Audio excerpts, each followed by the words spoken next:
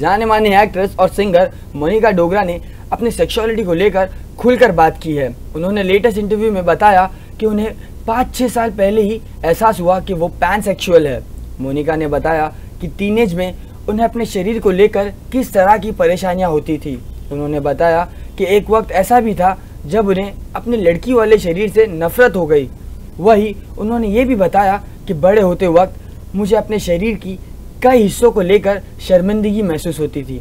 मुझे याद है कि जब मुझे ब्रेस्ट ग्रोथ का एहसास हुआ तो मैं घंटों तक रोई थी। मुझे लगा कि मेरी ज़िंदगी ख़त्म हो गई। मेरे एक कज़न ने मुझे रात में सोते हुए पाया और मोलेस्ट किया था। मैं कला के ज़रिए ही अपनी सेक्सुअलिटी को लेकर बात कर पाती हूँ। मोनिका ने बताया कि क्या हुआ था जब उन्होंने अपनी सेक्सुअलिटी के बारे में पति को बताया था।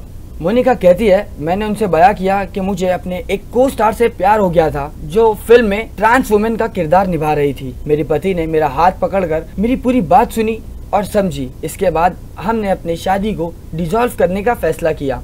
मैंने अपनी शादी को हमेशा सीक्रेट रखा था। डॉक्टर शवानी गुप्ता ने बताया कि पैनसेक्सुअल लोग किसी जेंडर से सामने वाले की तरफ़ आकर्षित नहीं होते हैं, बल्कि वो इमोशनली कनेक्ट करते हैं। इसे बायोसेक्सुअलिटी की एक स्टैंडर्ड ब्रांच मान सकते हैं। पैनसेक्सुअलिटी वाला शख्स किसी की पर्सनैलिटी की तरफ़ आकर्षित होता है। डॉक्टर ने बताया कि सेक्सुअलिटी को लेकर उम्र किसी भी पड़ाव को लेकर हो सकता है।